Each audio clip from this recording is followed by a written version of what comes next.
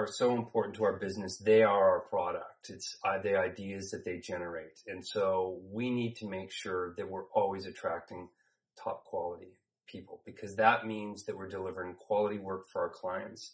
It means that people work really well together uh, and you can rely on one another um, to deliver on, on, on client initiatives. So if we're getting people who respect one another, who want to work with one another, enjoy being with one another, you're ultimately going to do great work for your clients. Clients see it. They see it in the room when we're in a new business pitch. And it makes such an incredible difference um, in terms of winning business and servicing business well. We'll hear in new business pitches, the reason you won the business was the way that your colleagues worked together in the room. It's obvious when it's authentic.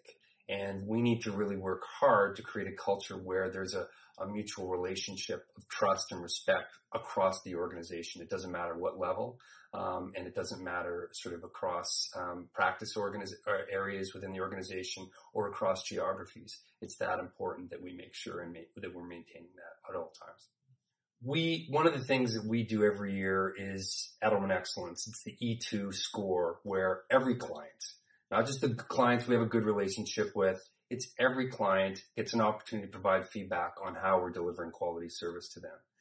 And the responses that we get from that, we share with everyone. And what's great is when we see that the entire team is recognized because of the level of commitment and support that the client sees. And the reason they see it is because we work hard to foster an environment where everyone really wants to work together to deliver results for the client. They're passionate about the work they do and it shows mm-hmm.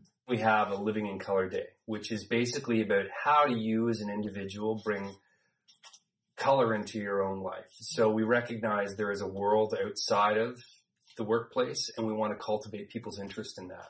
So Living in Color Day is basically you take a day to do what's important to you. That may be giving time to an election campaign. It may be giving time to a charitable organization. It may be taking time to take a photography course. But ultimately, it's about rounding out you as an employee because we think that's important. Another way that we engage externally is the Little Give program, which is about 48 hours of the office, offices across the country, basically coming together to give both their time and we provide uh, donations as well to under-resourced charitable organizations. So we have 48 hours that we can make an impact on something that they're trying to do as an organization. And that is one of the most inspiring things that you can ever do. And it's bringing people across the organization together, that sort of peer-to-peer collaboration to, uh, to meet, uh, you know, a certain objective for an organization.